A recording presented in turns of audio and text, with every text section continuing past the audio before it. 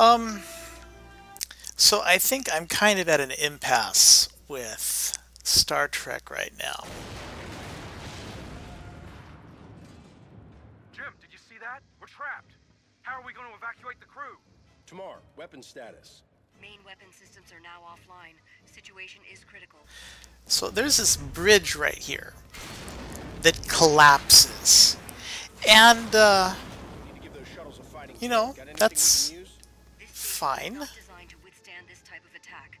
Tamar, is it possible to arm the subspace relay tower and convert the energy into some form of weapon? I suppose it may be possible, but you would need to reroute the station's power structure. But it would only afford you one highly charged shot. One but okay, so I need to get to the other side. And, you know, that's all well and good. But, um, dude, fucked if I know how to get over there. If you jump, you fall to your death. So I'm not going to do that. Just take my word for it for right now. Um, I've tried to see if there's some way to shimmy around, which would be like really long and arduous, but don't you can't do that. Um, I mean, I've tried to see if you can get over here.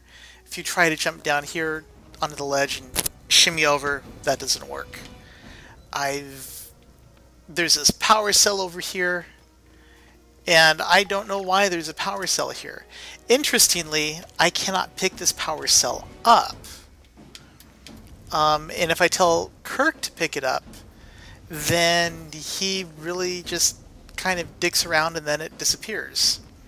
There's another one back over here.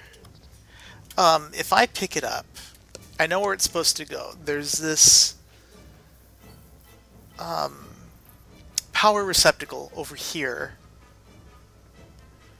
But when I tried to approach it before, um, it doesn't work. It just says, hey, you need to put that there, and it sucks to be you. So I put it down, and if I have Kirk grab it,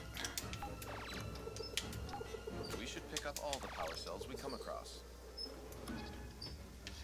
you know, then it's pretty much okay. I would advise you insert the And I can even have Kirk do the insertion, which is annoying because, you know, why can he do it but I can't?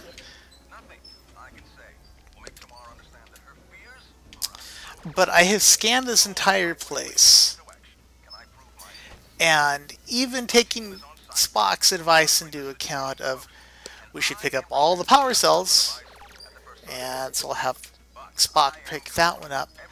I cannot find anywhere to plug it in, nor am I really sure what it would power.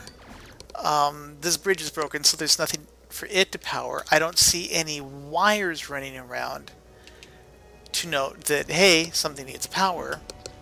Back through that door is nothing. And notice Kirk doesn't have the power cell anymore, because Kirk's a lazy ass. Kirk?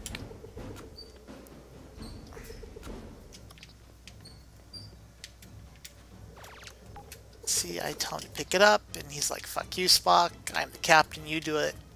But if I pick it up, there's nowhere to put it in. Um, I've climbed on the boxes, and, you know, this is pretty game-breaking. So, coupling this with a lot of the other criticisms I've had, uh, criticisms, it ends with an M, S. Um, lackluster facial animations, the speech animation is horrible. Looking at the jump animation, that's kind of a bunch of crap. Um, as you can see in that other video that I just ended, Kirk will kill himself if you can get him to run in the fire. I almost want to try it, but I won't. And I'm sure if I were to send him into the fire, he'd go willingly. Um, but in the end, this was really a waste of money. You know, about as much as just leaping off. Yeah, I don't feel better now.